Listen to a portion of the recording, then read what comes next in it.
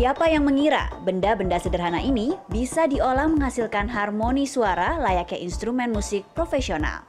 Inilah yang dilakukan duo Indietronic Bottle Smoker yang sejak 2005 mengusung genre musik pop elektronik.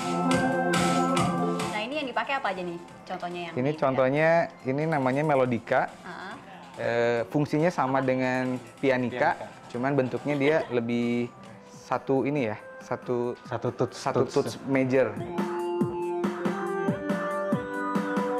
Jika kebanyakan musisi menolak keras pembajakan, Bottle Smoker justru mengambil langkah sebaliknya dengan membagikan musiknya secara gratis.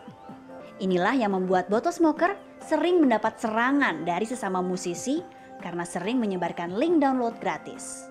Ini sebenarnya apa sih alasan dibaliknya? Apakah ada misi tertentu yang ingin disampaikan oleh Bottle Smoker? Jadi emang sistem free music share ini bukan berarti melawan yang eh, dijual musiknya dijual atau atau anti yang Iya. musik dijual atau bahkan mau mau apa mau memperlihatkan bahwa musik tuh harusnya gini dan yang dijual tuh salah gitu enggak juga sih.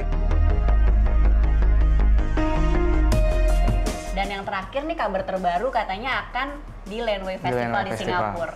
Ini gimana ceritanya? Eh, belum sempat nanya sih ke mereka Iya. kenapa memilih kita atau apa mungkin ya karena sebelum sebelumnya emang kita kalau kalau diperbandingkan eh, perform bottle smoker di festival-festival sebenarnya lebih presentasinya lebih banyak di kawasan negara tetangga lah ya di di, di ASEAN gitu dibandingkan di di lokalnya gitu di Indonesianya.